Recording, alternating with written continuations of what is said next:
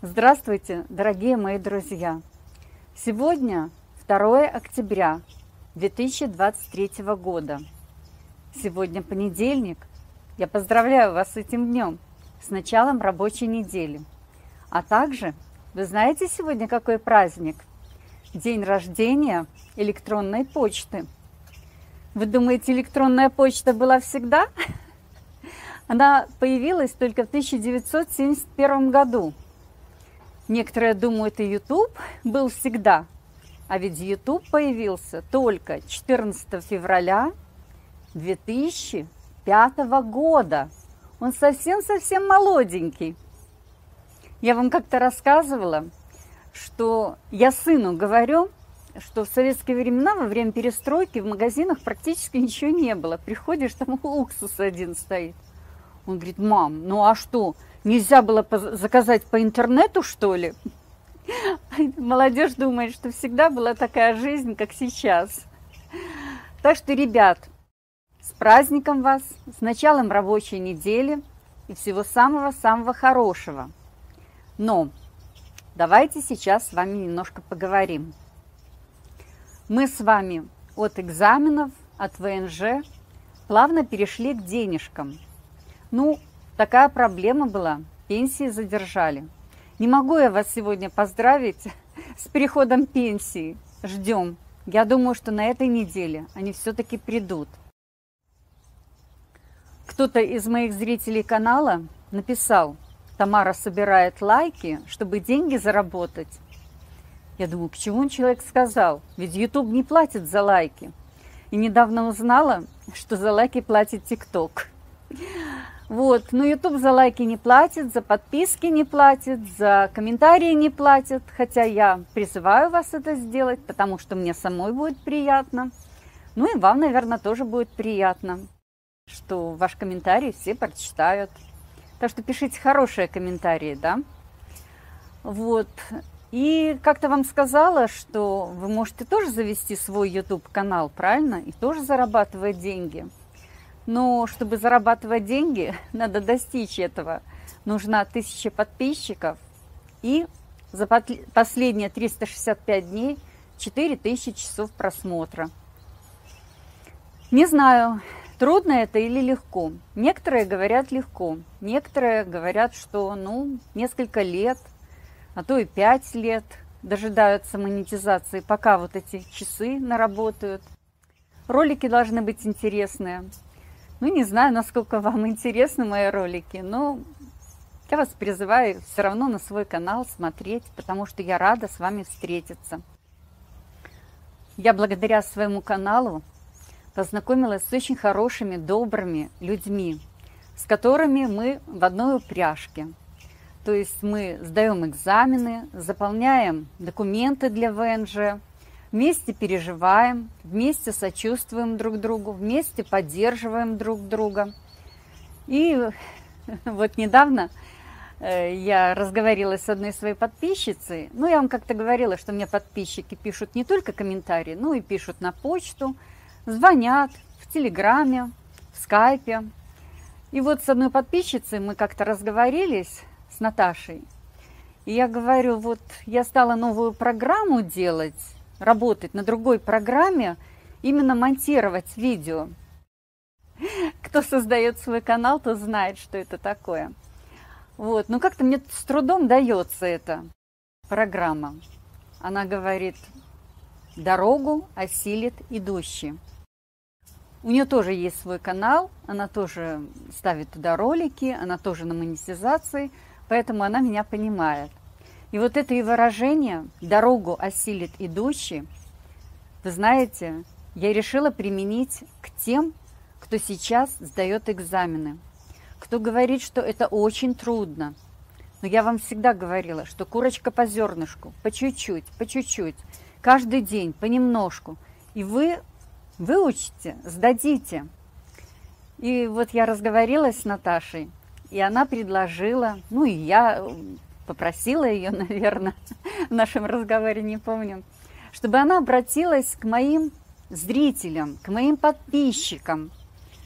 Она уже сдала экзамен, и вот что она вам пожелает, мы с ней э, созвонились.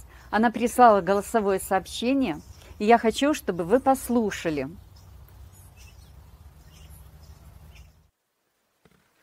Здравствуйте, подписчики Тамары.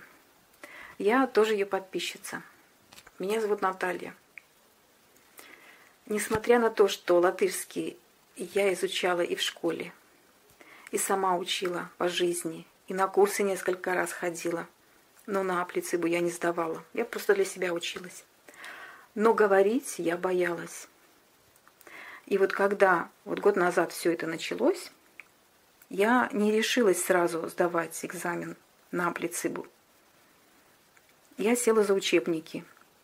И больше полгода до апреля я тренировалась. И я пошла сдавать в апреле, и все равно мне было страшно. Хотя я себе говорила, ну, на А2-то я сдам. Пила валерьянку. И я сдала с хорошими показателями, но э, экзамен долго, долго ждала ответа. Больше э, полтора месяца было. Не, больше месяца. Вот. Сейчас мы знаем, что кто не стал, дается еще попытка. И два года даже дается в запасе. Много людей э, все задания сдают хорошо и нормально. Но вот с письмом просто проблема. Для меня этот, э, это задание письменное не было сложное. Я помню, что я вышла из кабинета – ну, и сидящим вот тоже со мной, которые сдавали, говорю, шад стац, надо гарумзины. Вот я не помню, просто вылетело из головы. Но я поставила. А домой, когда пришла, сразу словарик залезла, фу, выдохнула, надо.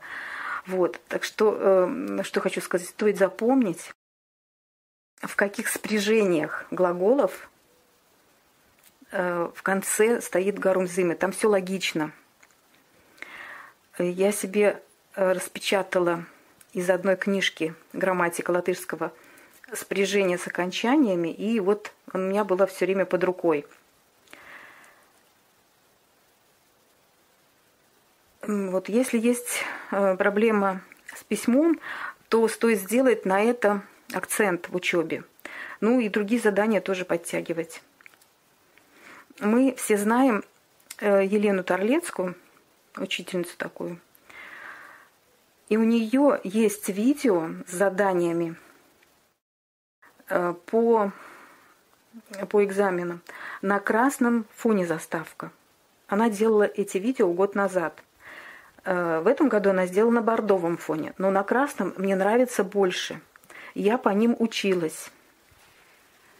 И вот видео с красной заставкой, там, где задания письменные, разбор у нее просто классный. Она показывает, как, используя уже имеющиеся в задании слова в тексте, который дается да, в задании, как э, это использовать э,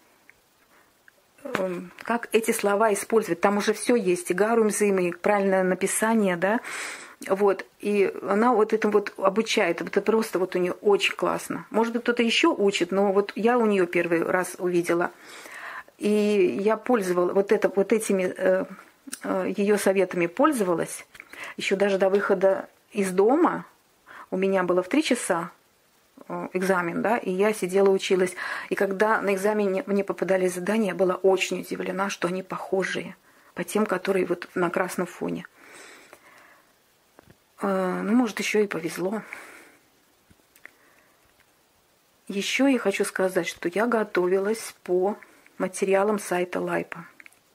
Там задания А2, ну просто жесть сложные.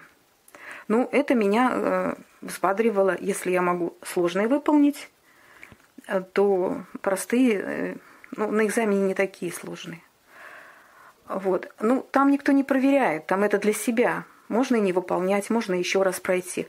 Ну, я советую, мне когда дали этот сайт, он меня, я на нем сидела, наверное, месяц, он меня прям очень-очень подтянул. Вот, по Арунашине, что я хотел сказать, стоит тренироваться говорить с чужими. Э, с незнакомыми людьми очень легко, ну, как бы легче. Короткими фразами. Если я что-то не понимаю, я говорю «Atkārtojiet lūdzu vēlreiz» или «Jūs varat lēni lūdzu». Es tulkoju. Э, и люди, все нормально, все, никто меня не, это, не бьет за это. Вот. И это я чувствую свою маленькую победу, что я преодолеваю, я, не бо, я э, боюсь говорить, но я э, иду навстречу своему страху и э, ощущаю, что мне это нравится. Э, раньше, если кто меня спрашивал, я боялась ответить неправильно. Ну, если кто-то дорогу спрашивает, например. Я боялась сказать неправильно. И поэтому сразу переходила на русский. А сейчас отвечаю сколько могу. Вот, и как бы это меня вдохновляет. Э, сейчас мы учим, издаем э, язык на, для документов на ВНЖ. Э, это важно. Но язык нам нужен и в дальнейшем пригодится. Наши вот эти усилия, они нам пригодятся в дальнейшем. Сейчас уже многие сайты на латышском и все остальное. И дальше так и будет. И нам будет легче, когда мы понимаем язык. И мы справимся. Я уже сейчас ощутила на себе результаты моей работы. Я стала лучше понимать, читать текст, отвечать, спрашивать. И меня это радует. Я вам желаю все преодолеть, все сдать и получить ВНЖ. У меня сейчас такой этап, что я э, на этапе получения ID-карты.